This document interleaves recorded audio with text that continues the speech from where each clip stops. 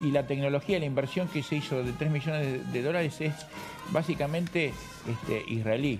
En, total los que quieren renovar son más de 70. El problema es que obviamente eso va a llevar tiempo y, pretenden llegar hasta 2026 en el proceso de renovación de los tanques. Pero renovados o no renovados estamos viendo unos cuantos, ¿eh? Estamos viendo muchos desfilando que están por lo menos en condiciones de desfilar o se están renovando eh, allí en la Avenida Libertador. Esto sí que no se ve hace mucho tiempo. Eh, recuerden que el anterior desfile fue en 2019, pero acá estamos viendo realmente un desfile muy, muy impactante que ha logrado que la gente salga con este frío, con muchísimo frío bien temprano. Eh, bueno, a ver, después de lo que pasó ayer en, Tucumán, del acto y de la cantidad de personas que estuvieron al aire libre con un grado.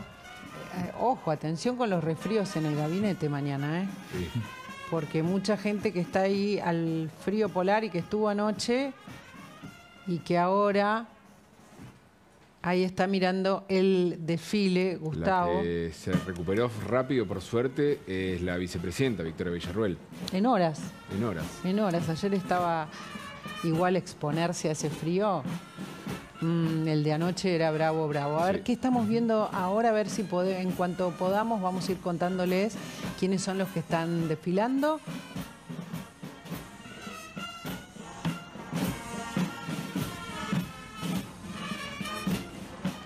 Hace su paso el escuadrón. A ver, a ver, ahí lo está diciendo la locutora. Sargento Cabral. Como parte del Instituto de Formación del cuadro de suboficiales, esta subunidad tiene la misión fundamental de formar a los futuros suboficiales de caballería, arma integrada por hombres y medios, sustentada en profundos valores y virtudes como la abnegación, el valor y la disciplina. Los aspirantes que hoy se lucen montados encarnan el espíritu de sacrificio y coraje que ha caracterizado al hombre de caballería desde los albores de nuestra patria, tomando como ejemplo al sargento Juan Bautista Cabral, de quien deberán ser fiel reflejo a lo largo de su vida militar. Estamos hablando de suboficiales. Sí, este y las distintas agrupaciones que tienen también este, las Fuerzas Armadas, ¿no? Más allá de que eh, uno vio la infantería, bueno, cada Fuerza Armada tiene distintas agrupaciones de acuerdo a la necesidad y a las hipótesis de, conflicto. Esto es un eh, regimiento tradicional que tiene mucha historia, eh, más allá de que están los, los granaderos a caballo, esto es específicamente la Escuela de Formación Sargento Cabral. Eh, eh, que tiene el asiento en Campo de Mayo, María Laura. En Campo de Mayo. Eventos deportivos internacionales. En los últimos Juegos Sudamericanos del ¿También pertenecen los que estamos viendo desfilar a Sargento Cabral? No, estos son los de Güemes. Ah, los, los gauchos de Güemes, mira. Tuvieron la medalla de plata. La Escuela Militar de Tropas Montadas tiene su asiento de paz en los cuarteles de Campo de Mayo, provincia de Buenos Aires. Señor locutor lo dijo recién Gustavo Carabajal, ¿eh? que están, tienen su asiento en Campo de Mayo.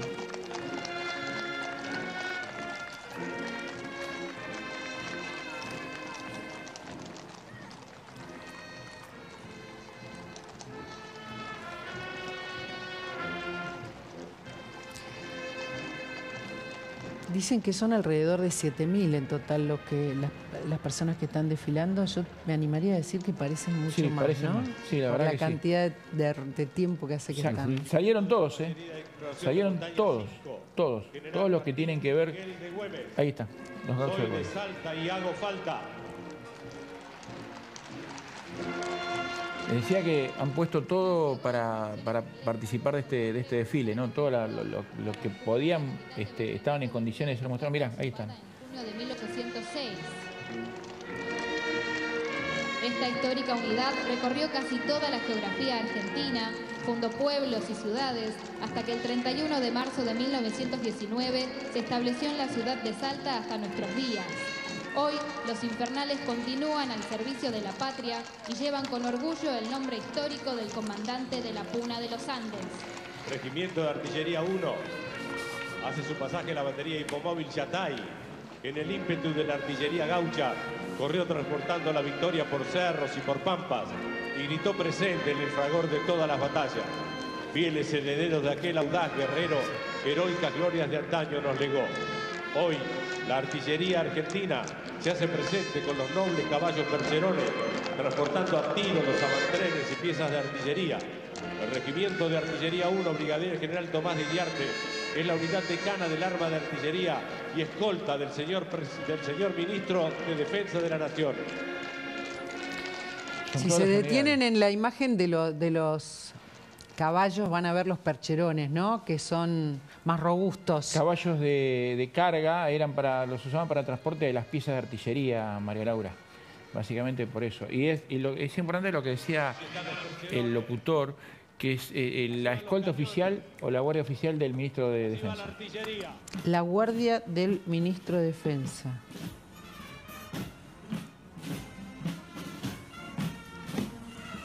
Ahí están los percherones, ¿no? Sí. Son estos caballos blancos robustos, de transporte. Sí, de, para mover las piezas de artillería cuando este, no, no, no, no, estaba todo lo que es la, artillería mecanizada, ¿no? Cuando todo era caballo, Gustavo. Exactamente. Nueva marcha militar de caballería. Se acerca el regimiento de granaderos a caballo, General San Martín, escolta presidencial de la República Argentina. Su jefe al frente, como lo hiciera el general San Martín. Los granaderos al fin, ¿eh? Ahí están. Arranca el momento de los granaderos, que son escolta del presidente, como dijo el locutor. Cantan la marcha militar San Lorenzo, de Cayetano Alberto Silva y Carlos Javier Benieli.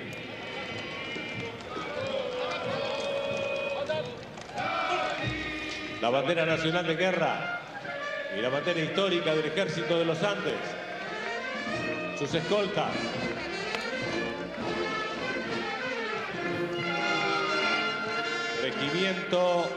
De Granaderos a Caballo, General San Martín, creado el 16 de marzo de 1812. Un cuerpo de caballería que fue orgullo y devolvió con creces la confianza y el orgullo de su jefe. Hacen su paso los efectivos de este regimiento con la mayor responsabilidad del cuerpo que es proporcionar la custodia y seguridad del señor presidente de la Nación fieles custodios de los restos del Libertador en la Catedral Metropolitana. Me, animo a decir, Gustavo Gabriel, que está toda la gente cantando en estos momentos. Sí, ¿eh? complementan el paso de los alazanes que recién lo hicieran. Allí están nuestros caballos criollos en el primer escuadrón del regimiento, el escuadrón Riobamba. Y se acerca ya la fanfarria militar Alto Perú, contada en los célebres caballos tordillos los caballos blancos de la fanfarria.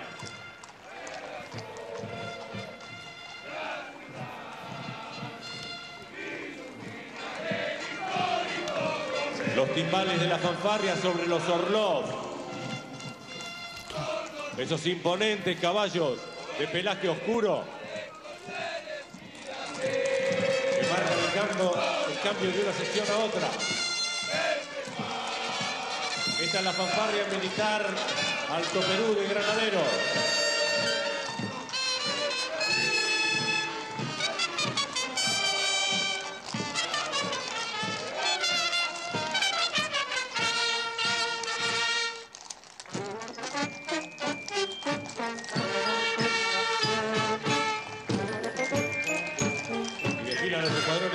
Del regimiento.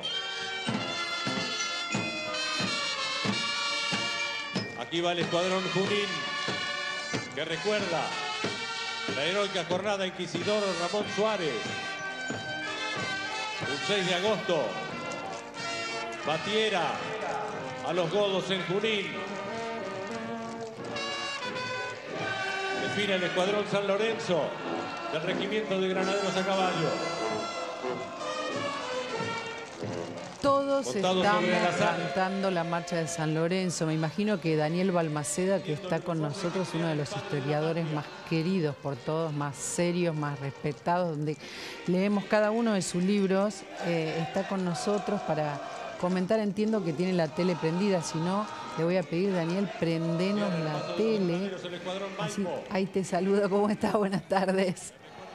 Hola María, feliz Día de la Patria, ¿cómo estás? Igualmente, igualmente. Te, propongo que estemos en off, porque están los granaderos y es hipnótica la imagen. No sé qué es lo que vos pensás, ¿no? En los granaderos, la marcha de San Lorenzo, es un momento realmente para disfrutar. Sin duda, sin duda. Además podemos ver, por supuesto, aquel uniforme diseñado nada menos que por el general don José de San Martín, un gran dibujante, que hizo que esos morriones fueran altos para que ellos parecieran desde la lejanía más grandotes y con ese, esa visera hacia abajo para que siempre tuvieran la mirada altiva, ¿no? Es muy emocionante. Claro, eh, eh, los sombreros son más altos, más grandes, más altos. Eso bueno, vos sabés que exactamente, María, lo que hicieron fue ponerle, eh, poner unos morriones bien altos y además las charreteras que también los parecían hombres muy corpulentos, por, con grandes hombres y, más altos de lo que uno, de lo que realmente eran, ¿no? O sea que la intención era mostrarse imponentes, meter miedo, digamos, ¿no? Ah, así es, sí, absolutamente. E, era un uniforme de un, de un ejército de élite. De hecho, cuando sorprendieron a los realistas en, San Lorenzo, eh, no, podía creer, no podían creer que en nuestra tierra hubiera eh, soldados tan entrenados, tan, tan diestros al caballo y con esos uniformes tan, tan vistosos, este, magníficos. Hemos visto eh, distintas agrupaciones que tenían algún modo de llamar la atención o de mostrarse quizás más importantes o más altos, por ejemplo, con las plumas, ¿no? Eh, quienes llevan la, como eh, especies de lanzas con plumas bien altas. Bueno, justamente ahí tenés dos temas para tener en cuenta. El primero es que cuando vos ves desde, desde cerca, obviamente te das cuenta del verdadero tamaño. Sí. Pero cuando en un campo de batalla los ves a 200 metros, son todos gigantes. Sí. Entonces, ese es un, aspecto fundamental. Y eh, por supuesto, cuando vos ves en los granaderos aquellos que marchan adelante con una especie de lanza, con, una, con un banderín representante de cada uno de los cuerpos, bueno, esas lanzas representan aquellas que se usaron en el combate de San Lorenzo. ¿Por qué? Porque cuando los granaderos partieron hacia San Lorenzo, no había suficientes Em, eh, sables, así que tuvieron que improvisarse algunos lanzas para poder tener un arma para, para participar de, la batalla. Mira, los secretos de, las batallas, ¿no? ¿Qué nos pasa a todos cuando, cuando vemos a, los militares desfilar? Eh, recién decíamos, Daniel, están todos los militares, todos los que estaban en condiciones de hacerlo están en la calle en estos momentos eh, y es un desfile realmente impactante, eh, que por aire por, y por tierra. Eh, claro. no hemos visto, no habíamos visto estos tanques que prácticamente han sido presentados ahora, los tanques medianos argentinos, estamos viendo todos los elementos con los que cuentan las las fuerzas. Eh, ¿qué, sentís que le pasa a la gente con, con, esto y, cuánto le toca la historia, la historia que aprendió tantos años en la escuela? Mira, esto que nosotros estamos viendo con mucha emoción, lo vivieron nuestros padres, nuestros abuelos, nuestros bisabuelos, porque los actos patrióticos siempre generaron una gran convocatoria. Los primeros que podemos recordar en realidad eran aquellos hombres que volvían, por ejemplo, de la guerra del Paraguay, ¿no? Y que eran recibidos como verdaderos héroes que lo eran. Y después ya en el 1900 comenzaron estos desfiles, siempre iban por el centro de la ciudad, por la calle Florida, después llegaban a la Plaza de Retiro, después marchaban también eh, eh, por, la Avenida de Mayo más adelante. Así que estos actos eran siempre muy populares y justamente lo que hoy vemos como novedades, bueno, también le tocado ver como, como novedades a, nuestros abuelos, porque por ejemplo, hacia 1912, 1914 comenzaron a ver los primeros vuelos aéreos de, la, de lo que era la primera este, incipiente fuerza aérea de nuestra, de nuestra patria. Y me imagino que también para ellos en ese caso volaron en los alrededores del hipódromo de Palermo, debe haber sido también emocionante y sorprendente. Claro, es cierto lo que estás diciendo. En todos los tiempos hubo eh, distintos vehículos, distintas, distintas cosas que se estaban presentando a la gente y en, en, todos los tiempos también mucha gente interesada en verlos, ¿no? Por supuesto, y además justamente la Avenida Libertador prontamente se convirtió en, el, en la pista central por ser tan ancha, por justamente poder permitir eh, este, un gran caudal de público. eh, en, los alrededores, justamente estamos viendo ahora los alrededores del, actual monumento de los españoles, un monumento que fue, que fue un regalo de todos los inmigrantes españoles, no de España, de todos los inmigrantes españoles, todos ponían un pesito para... Y bueno, imagínate lo que fue esa inauguración, que ocurrió en 1927, también. Todo el pueblo a la calle. ¿Qué, qué, qué puede haber más lindo que vernos todos unidos por este sentimiento de por la patria y por, por, todo esto que queremos y por todo lo que representa nuestra historia, ¿no? Eh, ahí, me, escribe mi madre, Daniel, y me dice, hay burros, claro, los burros no sé si pueden desfilar, pero es cierto, Daniel, que los burros fueron muy importantes eh, durante todo el proceso nuestro de independencia, ¿verdad? Importantísimo, desde el punto de vista comercial, pero sobre todo también eh, los, muchos de nuestros ejércitos se movieron en el Alto Perú, inclusive en las cumbres de la cordillera de los Andes, utilizando burros, porque además era el transporte. Eh, no, eh, es más, hubo combates en los que a falta de caballos se utilizaron burros. Así que fue un animal muy noble para, para la logística de los ejércitos de la patria. Acá me agrega algo eh, Carabajal. Las mulas, ¿no, Daniel? Las este, mulas. Que se utilizaron para transportar las piezas de artillería y los víveres en el cruce de los Andes. Exacto, Gustavo, comandados por el Fray Luis Beltrán, que fue el encargado de proveer a los, eh, eh, eh, todo el armamento pesado y que justamente parte del trabajo de él era el, transporte. Él, él, había dicho, Fray Justo, Fray Luis Bertrán, perdón, había dicho, voy a hacer que estas armas vuelen. Bueno, no volaron, fueron las mulas las que hicieron que pasaran eh, esa cordillera y estuvieran ya listas para combatir a los pocos días en la batalla de Chacabuco. ¿Y qué es lo importante que tenemos que recordar hoy, 9 de julio, de esa gesta? Por ejemplo, eh, e, en, ese tiempo no fue posible eh, crear una constitución, tardamos décadas en, en tener nuestra propia constitución, pero sí podemos recordar y homenajear eh, algunas cuestiones que pasaron el, 9 de julio, por lo menos simbólicamente, ¿no, Daniel? Y pero por supuesto, vos pensás que nosotros tenemos dos fechas importantes en nuestra historia, el 25 de mayo de 1810 y el 9 de julio del 16. El 25 de mayo empezamos a ser autónomos. Ya nadie nos imponía el gobernante, sino que nosotros lo elegíamos a partir del 16 no solo éramos autónomos, sino también una nación soberana, lo que le permitió justamente a San Martín, en ese verano siguiente, cruzar los Andes con un ejército que no era de rebeldes.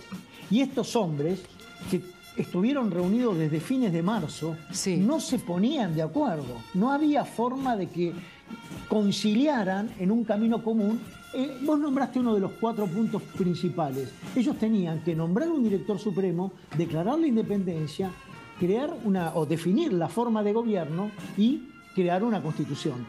Y, recién, en los primeros días de julio, todavía estaba todo indeciso y ahí pasó algo que es de lo más... Em, que te voy a contar uno de los momentos más emocionantes de la historia argentina.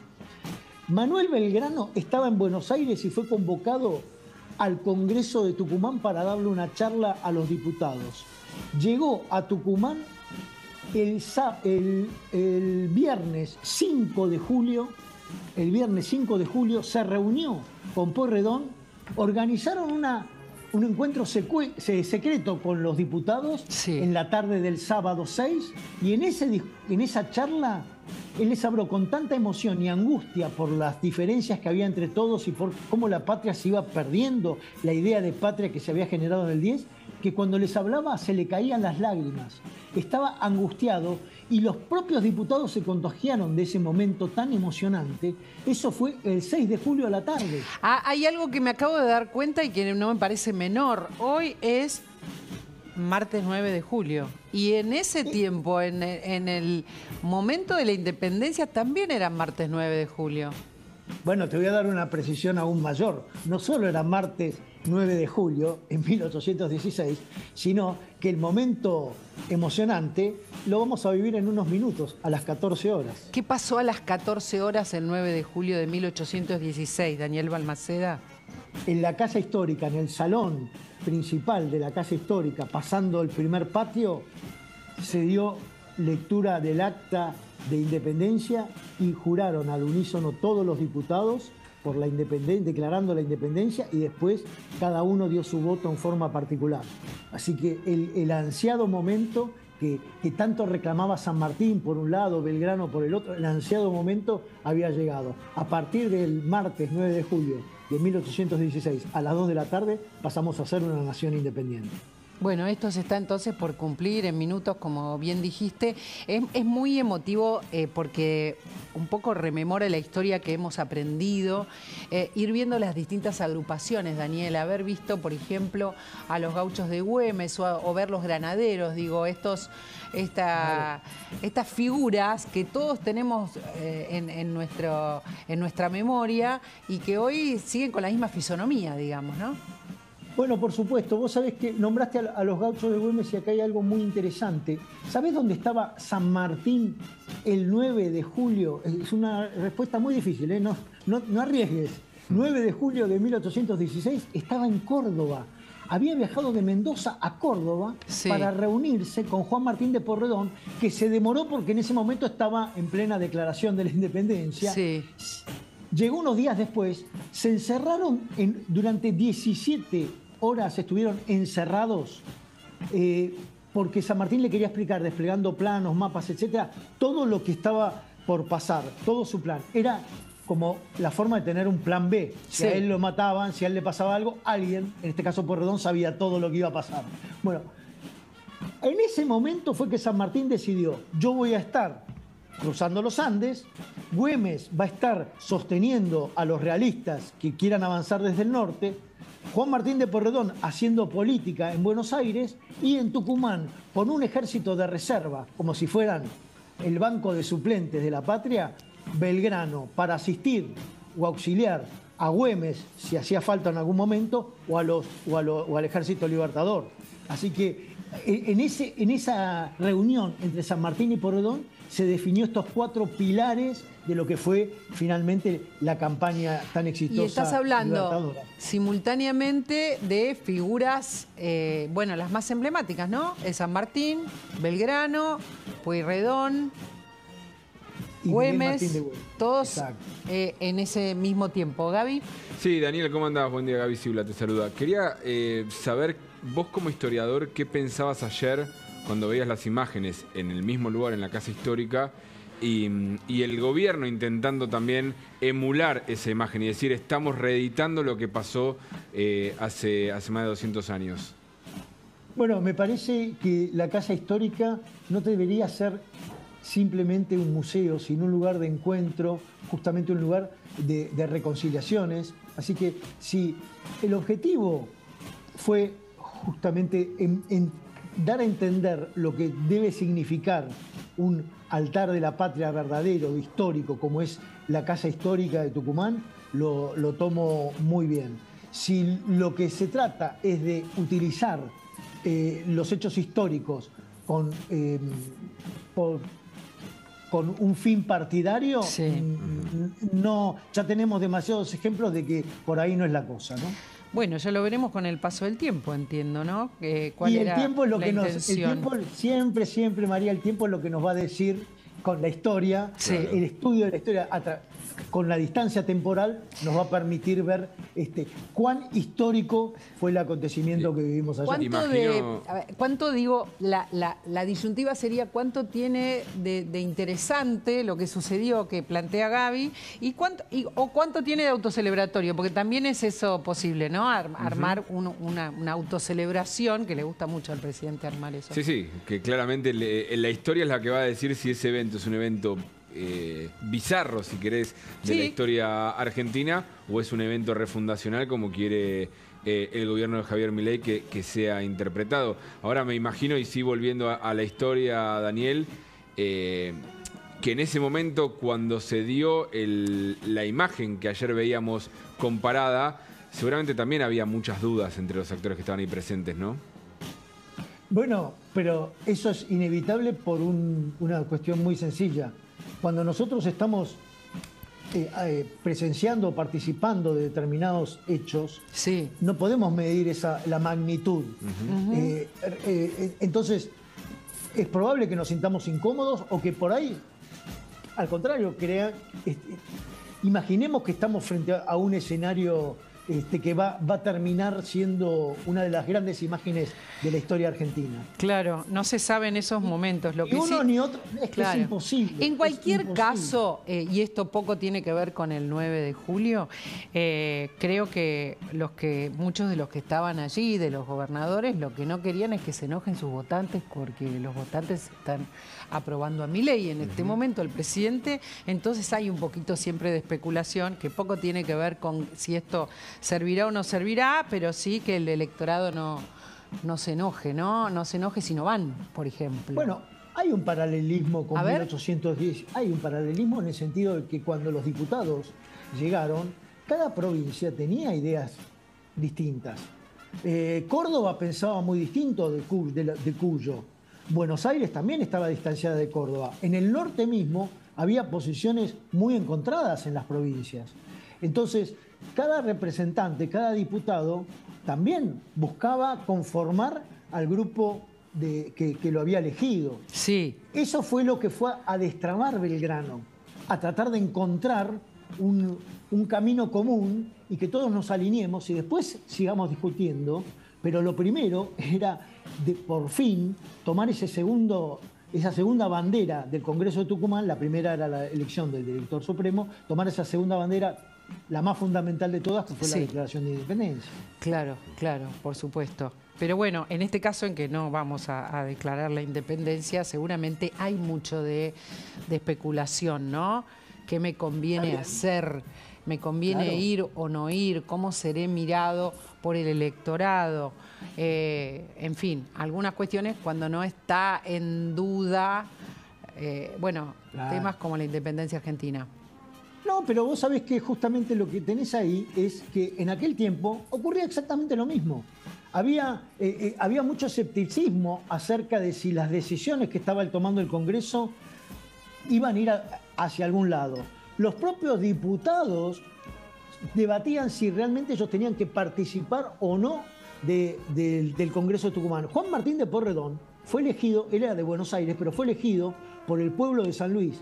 Y él en una carta dijo, yo no, no creo que esto sea la solución, voy a ir, pero en cuanto vea que haya diferencias y que no, sea, no se tome el camino que corresponde, yo les hago, escuchá, un corte de manga y me vuelvo a Buenos Aires. Eso les dijo, dijo en una carta. Así que el, el propio escepticismo lo tenían nada menos que los diputados que participaban. Imagínate si el pueblo cómo lo iba a ver, claro. Era un Pueyrredón diciendo el afuera de mi ley, ¿no? En este caso. El- bueno, sí, exactamente.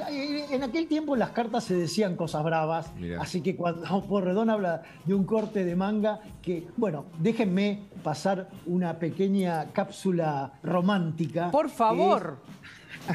que Juan Martín de Porredón se había casado en 1815 con Calixta Telechea y fue el único diputado que concurrió al Congreso de Tucumán con su mujer. Pero qué lindo. El, el único casa, era casi una luna de miel para él, porque se había casado poco tiempo antes. Eh, lindísimo. Eh, a- ayer, lamentablemente, eh, no había ninguna mujer más que Karina Milei, era la única mujer eh, y es la, la- la mano derecha del presidente, la hermana del presidente. Lamentablemente, eh, ninguna gobernadora para, para estar en un, en un acto que se transmite en cadena nacional, ¿no? Sí. Eh, Veníamos de tener varias gobernadoras en el periodo anterior. En esta renovación, ni una gobernadora. Nada, nada de nada, el machirulismo de los de, No, pero de bueno, la política. a- a- en aquel tiempo, por supuesto, que no, no, menos, menos que menos. La, la mujer no tomaba decisiones en la superficie, aunque por debajo todas tenían opiniones y todas le hablaban a sus maridos con conocimiento de, de- de- de los hechos, ¿no? Sí. Pero vos fíjate que de la misma manera que ayer algunas provincias no participaron, bueno, también hubo, estuvieron las provincias que decidieron en un principio no sumarse, las del litoral, eh, eh, con- incluso Santa Fe, ¿no? También el- el, Entre Ríos, no, no- no, no quisieron participar este, porque justamente están más cercanas a Artigas que boicoteaba este Congreso. Así Mira. que también nos pasó en un También pasó de provincias que no fueron, decís. También tuvimos sus, ausen- sus También hubo ausencias. También hubo ausencias, exactamente. Y ahí la explicación cuál era, ¿por qué los, los que gobernaban esas provincias no iban al Congreso de Tucumán? Bueno, había un gran enfrentamiento del litoral con Buenos Aires. Buenos Aires eh, era el centro de atención política de aquel tiempo y lo que se trataba era de quitarle ese poder a Buenos Aires y Artigas eh, ya tenía muchos enfrentamientos. Artigas, digamos, era abrazaba la bandera federal. Por supuesto. Y, entonces, por ese motivo, logró que mm, muchos, este, que algunas provincias boicotearan el Congreso de Tucumán. Eh, sin embargo, fíjate que una de las decisiones que se tomó precisamente fue alejar al Congreso de Buenos Aires para dar una idea de mm, territorio. Y, y, Tucumán no fue una elección así nomás. Tucumán quedaba en el centro del territorio, porque recordemos que allí teníamos también al Alto Perú, desde Buenos Aires hasta el Alto Perú, la mitad de camino más o menos era Tucumán, y además le debíamos a las provincias del norte un homenaje por el enorme esfuerzo en recursos humanos y logísticos para las batallas, las grandes batallas de la guerra de la independencia. Bueno, y por eso tienen ese, este lugar y este espacio también los gauchos de Güemes, para dar un ejemplo de quienes representan parte del norte argentino aún hoy, ¿no? Eh, por eso también el eh, Güemes ya es feriado, para decirlo sintéticamente, digo, el, el, reconocimiento a, este prócer también es el reconocimiento a las fuerzas del norte, Daniel. Y sí, por supuesto. Es tanto Salta como Tucumán, eh, Santiago del Estero, Jujuy, vivieron en el frente de batalla. Allí ocurría todo todo el tiempo. Por ahí desde Buenos Aires mirábamos las cosas, aplaudíamos, pero eh, las familias, las casas, bueno, tenemos el éxodo jujeño, ¿no? Como un gran ejemplo de sacrificio del pueblo, pero eh, todo el pueblo norteño en, las guerras de la independencia del Alto Perú y después el pueblo cuyano, todo Cuyo, en, el cruce de los Andes, en la, liberación de, Chile y, Lima y Perú, este, son, son pueblos que han sacrificado a sus haciendas, sus economías, sus familias, eh, que lo han dado todo y, es un homenaje eterno a, esos pueblos. Daniel, la gente nos está acompañando, está viendo con nosotros eh, todo lo que pasa en la calle, la gente está acompañando.